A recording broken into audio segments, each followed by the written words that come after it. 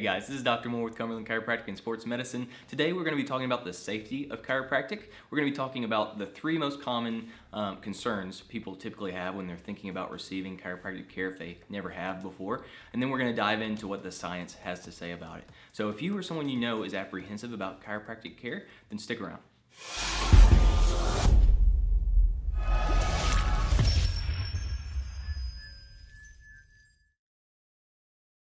Guys, so the first and biggest concern people typically have with chiropractic care, if they haven't had it before, is does chiropractic care cause a stroke?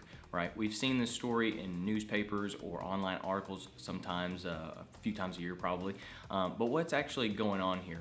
So um, the stroke that these stories are talking about uh, concern an artery that runs through your neck. If you can see this uh, orange line as it courses through the bones in the neck, this is your vertebral artery. Um, people who have a weakness in that artery or who have had an injury to that artery can either form a cut within it or can form uh, blood clots. Uh, and if those blood clots are dislodged, they will travel to the brain and ca cause a stroke. So chiropractic has been blamed for either the injury of this artery or dislodging of those clots causing those strokes. But what do the numbers have to say about this? So the Annals of Medicine released a study in March of 2019 that found that Chiropractic is not a cause for cervical artery dissection and stroke, and this actually mirrored uh, results found from previous studies that took place in 2016, 2015, and 2008. Um, in fact, one study found that patients were 76% more likely to suffer a stroke shortly following a visit to a medical doctor or primary care physician. And am I, am I saying that medical doctors are causing strokes? Absolutely not. What I'm telling you is that when someone has an injury to the cervical artery or is starting to form a clot in their neck, they're going to develop symptoms such as headache, neck pain, dizziness, and when they have those things happen, they're going to seek care from either a medical doctor or a chiropractor. So what about the adjustment of the neck? How risky is it to have a chiropractor manipulate the spine of your neck? Um, well, you might be surprised. A recent study that uh, measured the amount of stress that takes place at the vertebral artery found that you actually put more stress at that artery in your neck when you, let's say, back out of your driveway or turn your neck as far as you can to one side or the other. Um, I'm going to give you a visual analogy of that. Dr. House is going to help me out. So study finds this three times the force on that scary artery than that. Any questions? Perfect.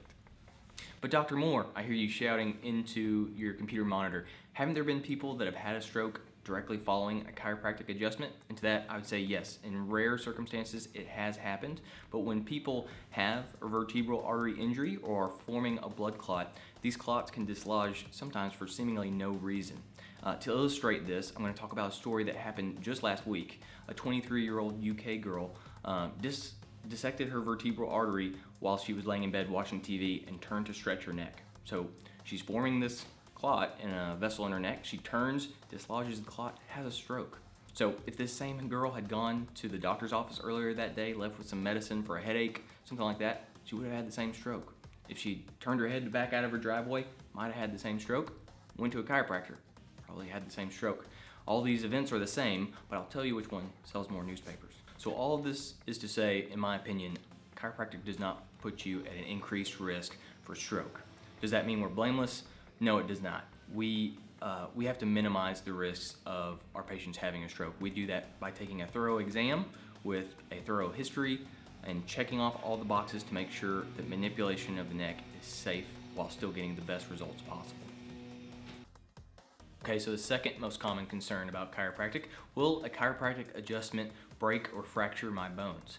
And the answer to that is short and sweet, almost assuredly not. So that popping sound that you hear during the chiropractic adjustment, that's not bones breaking or bones hitting against one another. That's actually a sound that comes from the stretching of the joint capsule in between the bones of the spine.